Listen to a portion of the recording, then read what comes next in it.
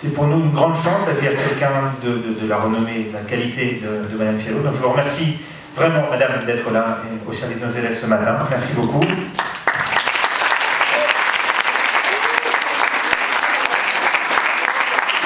D'autant que si vous connaissez Madame Fialot, c'est son nom, peut-être que vous connaissez un peu de ses travaux, vous ne savez peut-être pas qu'il y a quelques années de ça, une vingtaine d'années, c'est ça? Elle était à votre place ici, puisque c'est aussi une ancienne élève du lycée franco-mexicain. Ah, il y a 60 ans, bon, bah, vous voyez, j'étais pas loin.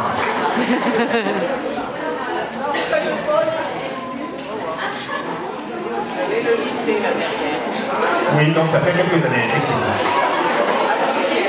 Voilà, je vous donne la parole tout de suite, madame. Merci beaucoup, madame Amiens, qui garde son moment. Vous La conférence est en espagnol. D'accord Voilà, donc profitez bien de ce moment. Merci encore, madame d'être là, et je vous laisse la parole. Merci à vous.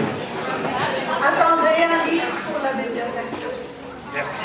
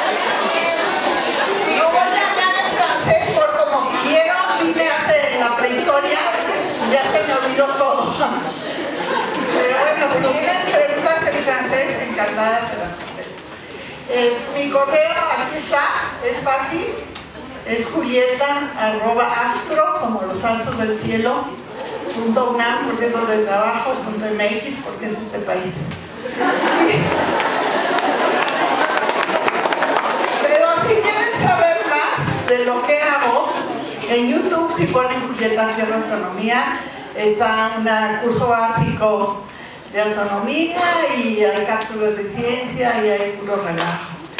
Así que están bienvenidos a, a que ahorita se quedan dormidos o seguros. Bueno, muchas gracias por la invitación. Gracias, yo sé que es más difícil organizar un evento, una extensión. Sé que es mucho más difícil organizar un evento de estos que venir aquí desarrollo y al la época de, mundo. Hoy les voy a hablar sobre el universo y sobre la química del universo. ¿Por qué? Bueno, porque primero el universo es todito. O sea, aunque cada objeto celeste tiene sus chuladitas, el universo en su conjunto es apasionante. Y además porque es una disciplina donde los astrónomos mexicanos hemos destacado, también los franceses. Colaboramos mucho con astrónomos franceses que se dedican a estos mismos temas. Seguido vamos a Francia, vienen ellos y trabajamos juntos. el universo para los... Ah, me dices cuando me falten 10 minutos para tomar preguntas, por favor. O si quieren preguntar antes, adelante no me opongo al interrogatorio profundo. O si no quieren este y quieren otro tema, también díganme. Como la sexualidad de las musarañas, por ejemplo.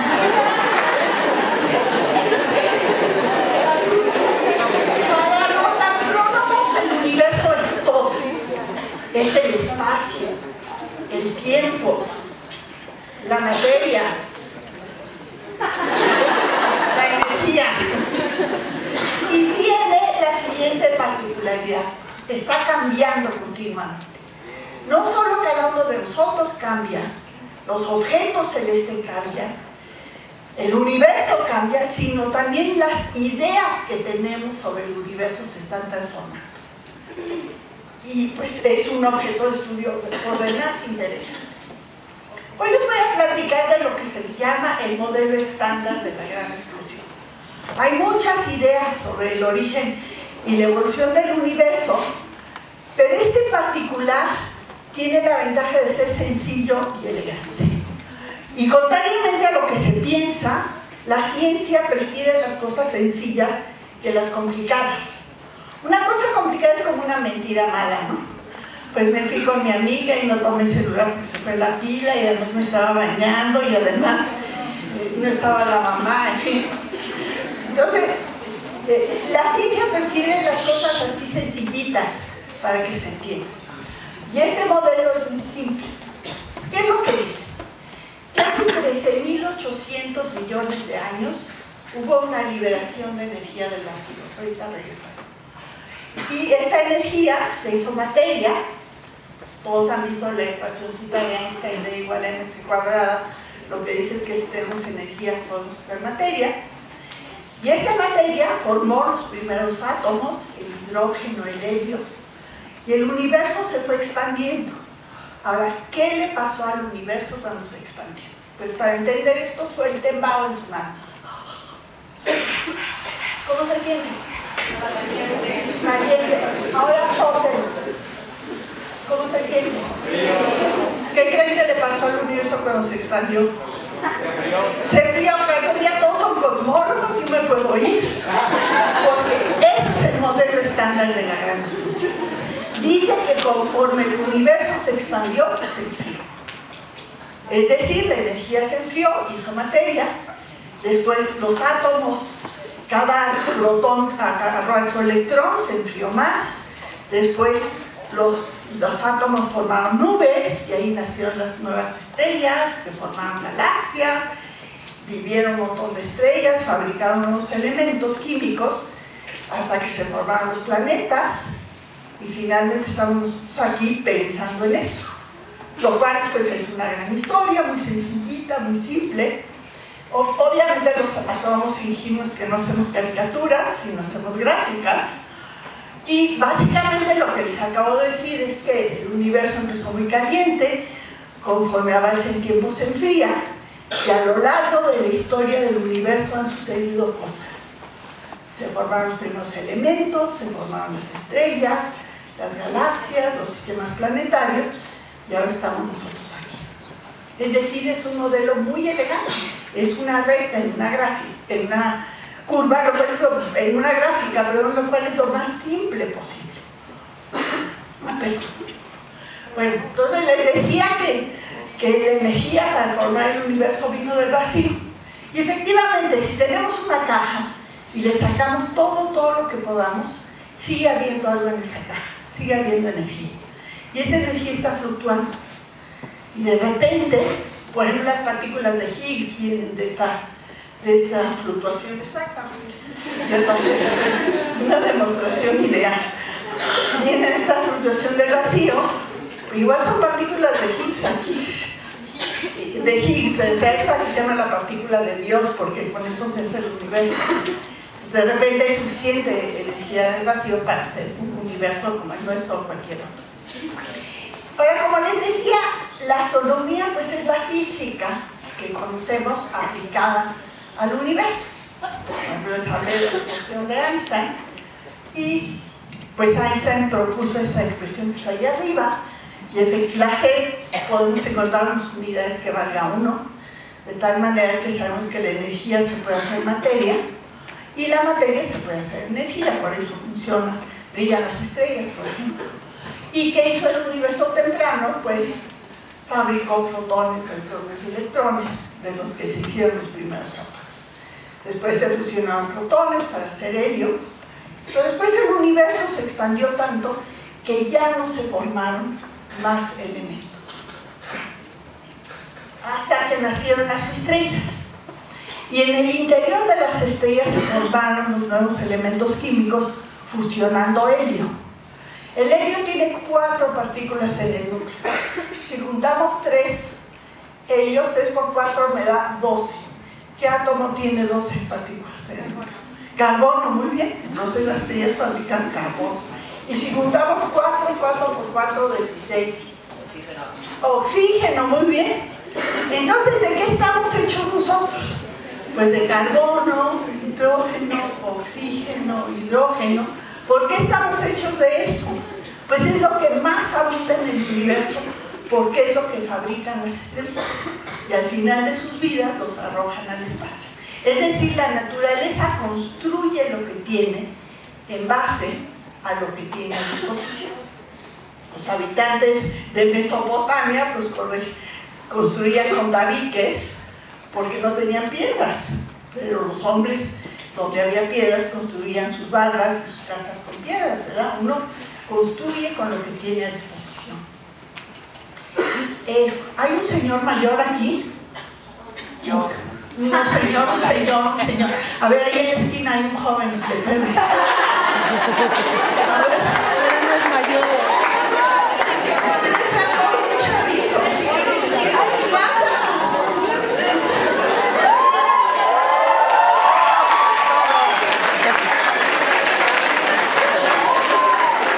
Ah, perfecto, el galán de la pradera, el profesor de educación física.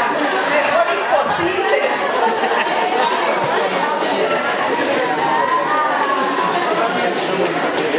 O sea, no vamos a suponer que tuviera tres veces más edad de la que tiene. Si no va a Vamos a suponer que él me quiere hacer un cumplido a mí.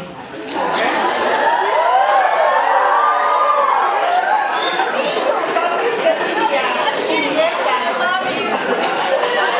cada uno de tus carbonos, nitrógenos y oxígenos fueron fabricados dentro de una estrella. No es mentira. Y las estrellas los aventaron al espacio y ahora están aquí.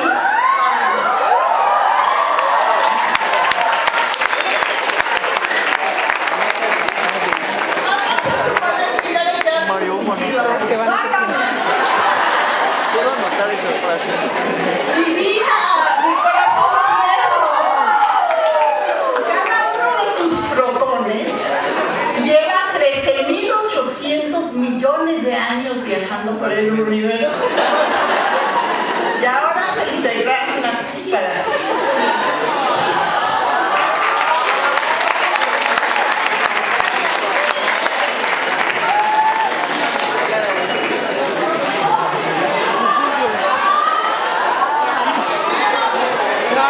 Querer pasar todo. ¿Qué es eso? No los. Para que se acuerden que la ciencia es dulce.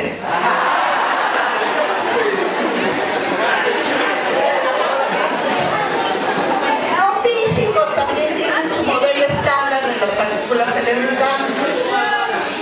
Y por eso sabemos que las cosas están hechas de protones y neutrones que están hechos de quarks, en fin, hay electrones y hay partículas que mantienen los Los astrónomos utilizamos esta física para entender cómo era el universo temprano y cómo se formaron los elementos. Ahora, la ciencia no es la verdad. Y esta conferencia tampoco es la cosmología. Es un acercamiento light. Es como un mapa. Y ustedes mapa está chafísimo. ¿Dónde están las rutas del Huachicol? ¿Dónde están las rutas de los hondureños? Ya le falta muchísimo. ¿Dónde está el liceo? ¿Dónde está Acapulco? Tenemos un conocido que se va a Acapulco y nos deja a nosotros aquí con el trabajo. Bueno, entonces, en la, es una, la ciencia siempre es un a la naturaleza. Y, y siempre, y no hay verdad, no existe la verdad. Y para que me entiendan más o menos de qué se trata, vamos a suponer que yo veo esos capullitos de alelí. ¿Sabrán los capullitos de alelí que los utilizamos para seducir a las chavas? No, ¿verdad? Siempre que bobos son. Bueno, nada ni sirven. Entonces, vamos a comparar alguno de capullitos de alelí. Y para eso van a pasar ustedes dos. El chavo de la niña de la chamarra.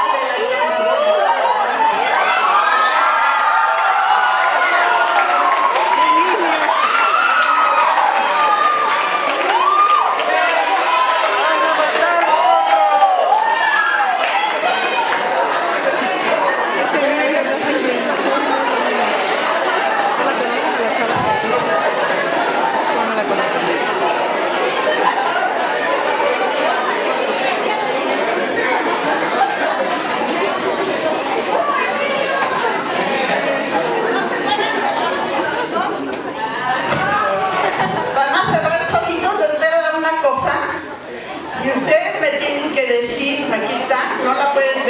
Puedes tocar, aquí está. Aquí.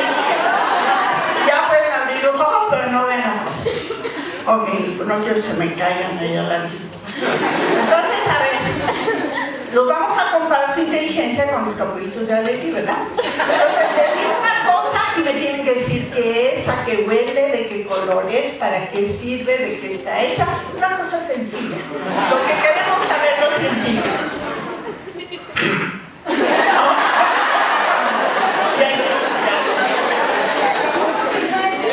¿Puedo leerlo? No. Olerlo ahora.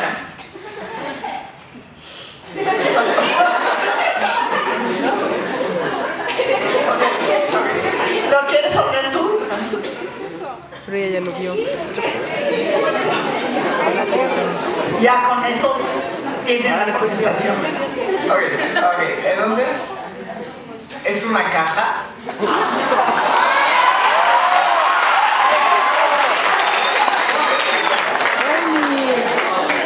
Y adentro hay algo.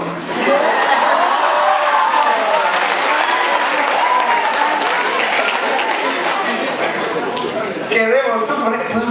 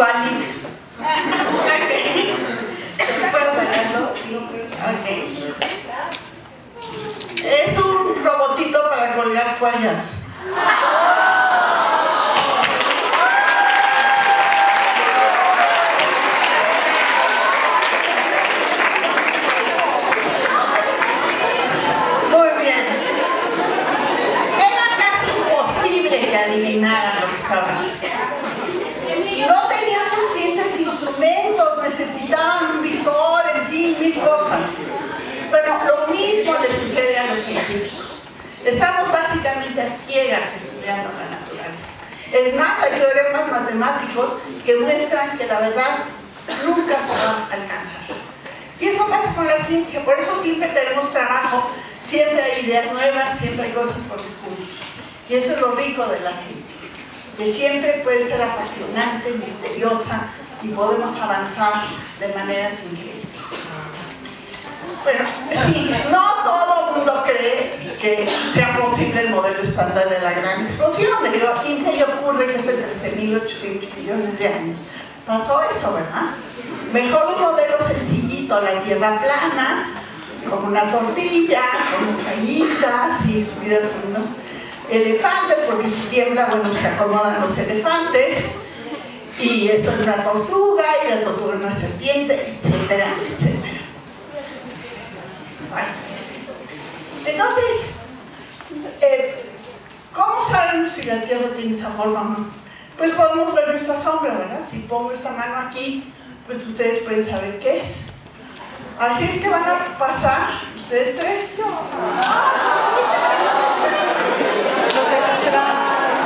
Mira mis alumnos tan guapos.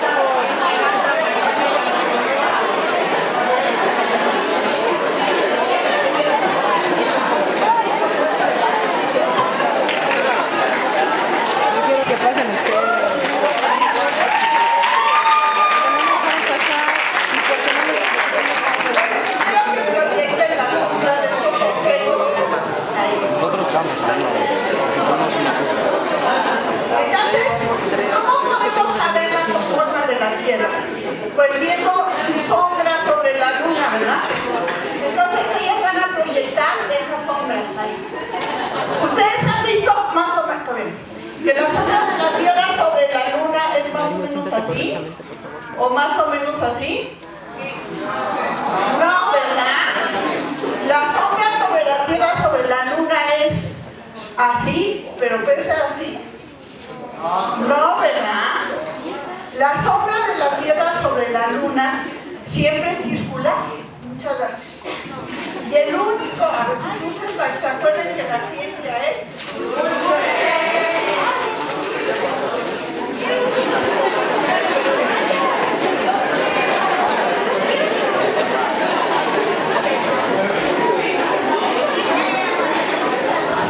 Y el único objeto que siempre produce una sombra circular es una estrella. Así es que la humanidad sabía que la Tierra tenía que ser redonda. Si es que encuentro mi pelota, aquí está. Eh, no se ve bien, pero si ven, la sombra de la Tierra siempre es redonda, igual que la Luna. Así es que, pues la ciencia funciona así. Hacemos predicciones, hacemos experimentos, vemos si estuvo bien o mal y podemos cambiar. Ahora la ciencia se pregunta si para eso va a pasar aquí, monsieur le directeur. Monsieur,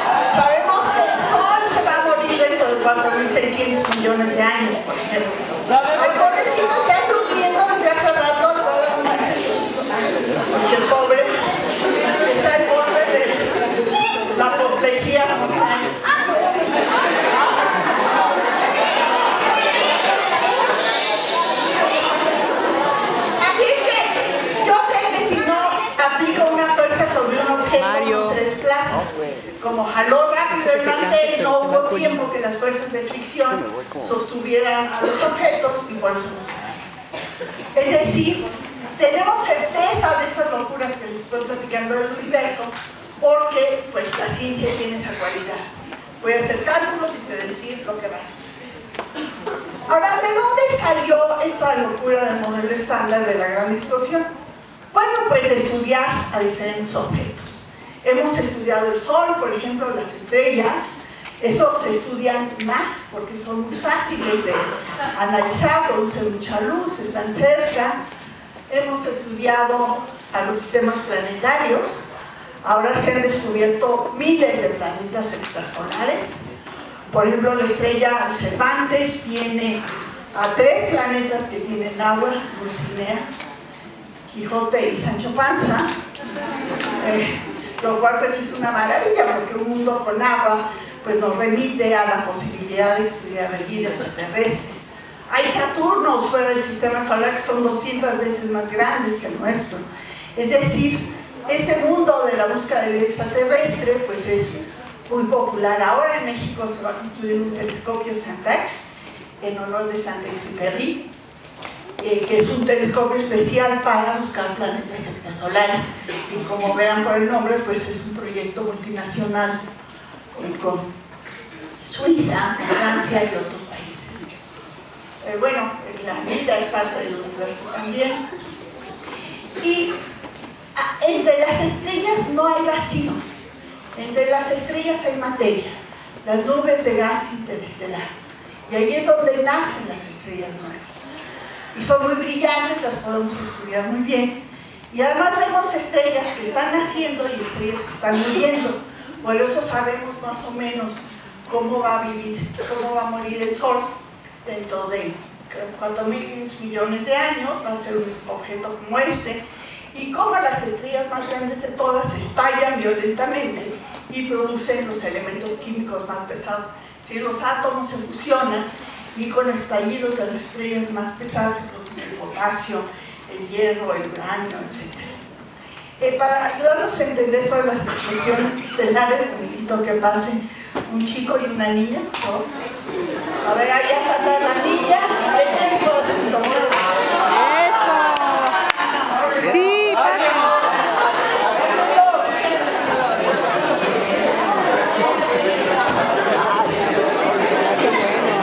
Siempre correctamente.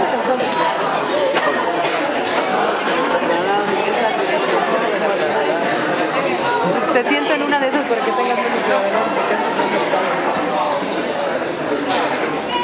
Hugo, siéntate correctamente. Y tú también, Alana. Baja la escucha. ¿Sí me escuchan sin Por micrófono? Favor, te callas.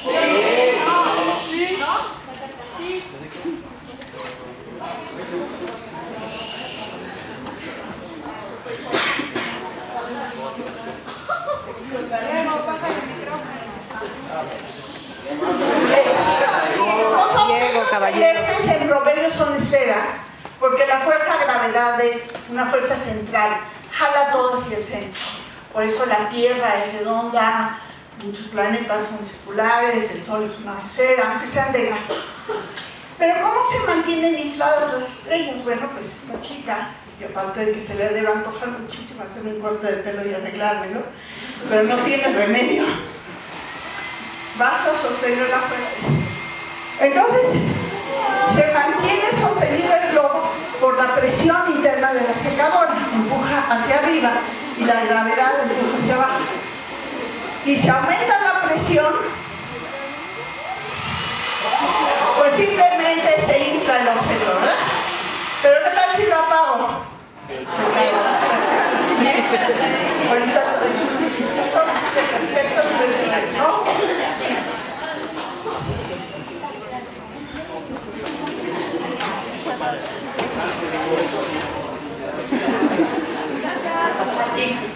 Bueno, ¿por qué estallan las estrellas?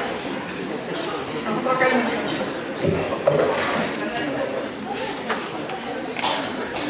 Ya estás agarrando la niña.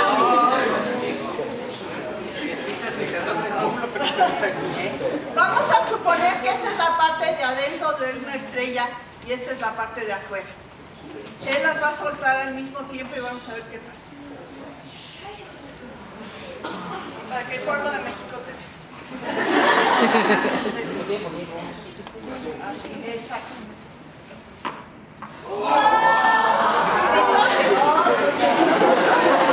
¿por qué está perfecto? Te salió perfecto.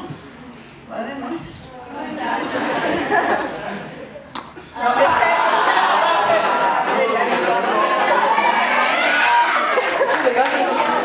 Sosténlo nada más, no lo- no lo- simplemente.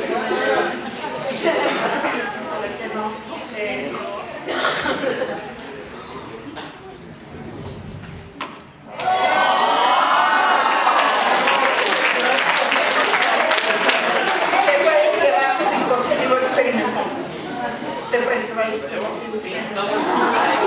La ciencia en tus manos.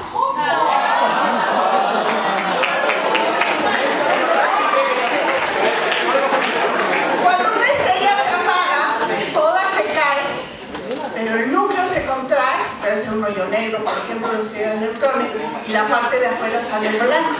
Y por eso las explosiones estelares nutren al medio interestelar de elementos químicos nuevos, estos elementos que fabricaron las estrellas y los que se producen durante su expansión, su explosión. Bueno, las estrellas no están regadas hacia el azar, forman grupos como los cúmulos globulares o las galaxias. Nosotros vivimos en una, la Vía Láctea, y solo es una de 100 mil millones de estrellas.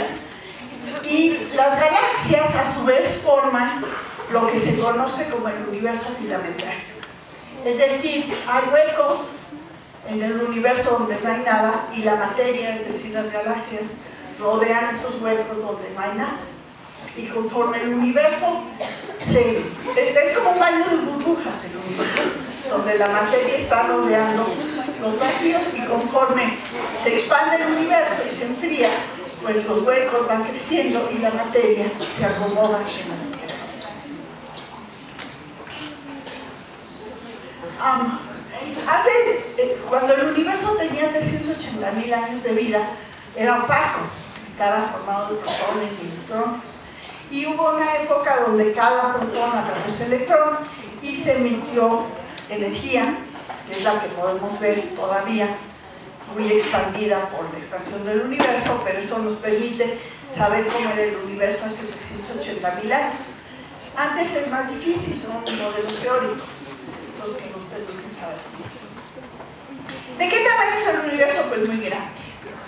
Vamos a agarrar una cosa conocida y la vamos a ir amplificando por ahí.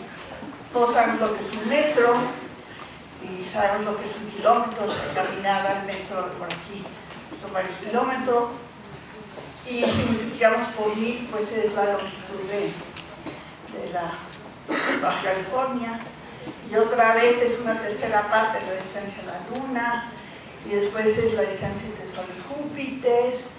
Y más adelante la distancia de las estrellas más cercanas, estas que tienen planetas que va a estudiar Santa. Y, y después es las distancias de los cúmulos de estrellas. Y después el tamaño de las galaxias. Y así cada vez va siendo más y más grande. Los tiempos del universo son igualmente grandes, el universo se formó hace 13.800 millones de años, se formaron los elementos, se formaron las galaxias, los planetas y la vida surgió hace muy poquito, hace 3.800 millones de años. El Sol lleva, su edad es una tercera parte de la edad del universo. Ya, ya 10 minutos. ¿ah? ¿Para qué te pregunto? Ok, que me pregunten. Ok. Dos preguntas. Atrás. Eh, ¿Puedo un libro? Yo lo tengo. Pero bueno, al menos dos están en la biblioteca. Lo siento, ya solo aquí. A ver. Ah, pero he escrito 40 libros. Seguro algunos eran bueno, si quieren les digo nada más cómo se sabe la edad del universo. Sí, ver, había sí. una niña ahí desesperada que ya me pasa. ¿Cómo? Ah, un año luz es una unidad de distancia. Es la distancia que recorre la luz en un año. Por ejemplo, la distancia a la luna es un segundo y medio de luz, es decir, la luz de la luna tarda un segundo y medio en llegar. La distancia al Sol son 8 minutos luz, la luz del Sol tarda 8 minutos. La distancia a Plutón son 3 horas luz. Y las galaxias en general están a miles de años luz de distancia. Es decir, la luz de las galaxias muy distantes tarda millones de años en llegar. Y eso es bien padre, vamos a suponer que, que la luz de ustedes tardará tiempo en llegar. Thank you.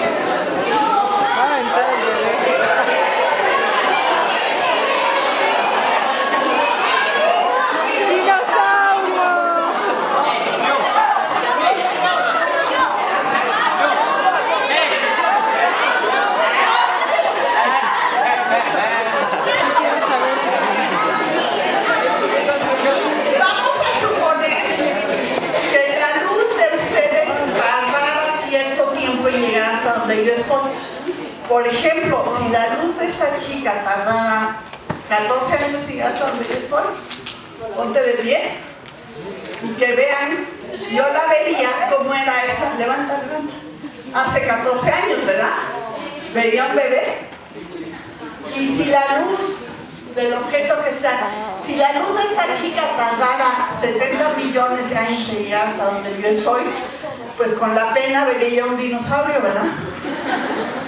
Y si la luz que hizo la, pregunta a la niña tardara 3.800 millones de años en llegar hasta donde yo estoy, pues yo vería las algas verdes y azules ahí en el océano primitivo, ¿verdad? Pues lo mismo nos pasa en astronomía. Siempre vemos hacia el pasado. A Plutón lo vemos como era hace tres, tres horas y cualquier estrella que vemos en el cielo ya ni está ahí, ni es como la vemos, porque ya pasaron miles o cientos de miles de años para que su luz llegara. Por eso en astronomía siempre vemos hacia el pasado. Pero gracias a eso podemos ver la historia de muchos ciudades. Ahorita les doy un para todos.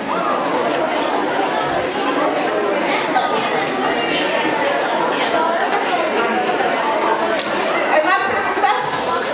Allá atrás. ¿Qué es la antimateria? ¿Qué es la antimateria? Mira, eh, eh, existen partículas subatómicas, en general se producen dentro de laboratorios, que son iguales a las partículas normales, pero si se unen con una partícula de la vida común, se destruyen. Así es que hay antiprotones, que si se fusionan con un protón, se convierten en energía. Hay positrones, que si se unen con un electrón, se destruyen, etc. Y estos son muy útiles para entender cómo es la física del vacío y otras cosas. Ajá, había otra pregunta por aquí. Sí. Si la extinción solar se, si el tiempo de la, de la extinción solar se redujese a 10 días, mm, ¿cómo, cómo estaríamos actualmente? Ah, pues eh, el sol se había inflado hace tiempo, o sea, dentro de un ratito el sol se inflaría y quedaríamos en la orilla del sol, ya Mercurio y Venus quedarían adentro del sol, y nosotros estaríamos en la orilla y nos derretiríamos, después el sol se inflaría más, y todo lo, todo lo que hay en la Tierra se desintegraría, después el sol se expandiría más, y todo lo que hay ahorita en la Tierra se reciclaría en el universo, todos los gases del Sol se mezclarían con estas nubes de gas y de polvo y formarían nuevas estrellas. Nosotros venimos del reciclamiento estelar. Bruno, pues. ¿Sí?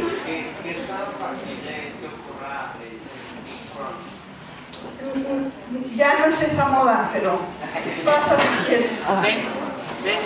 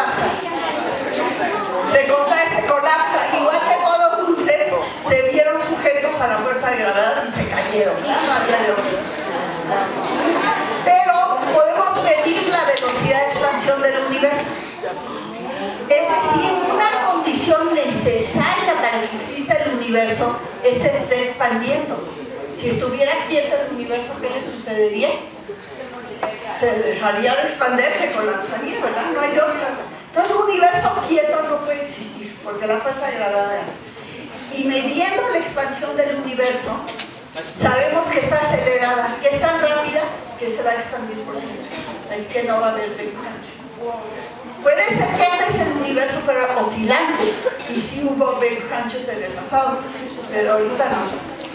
Pero ahorita no. Ay, bueno, hay otros dos paladillas que me ayudaron. Y la niña dinosaurio también.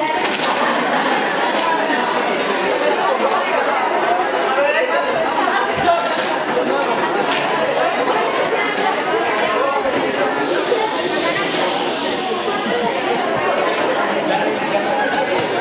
¿Cuántos años le tomaría?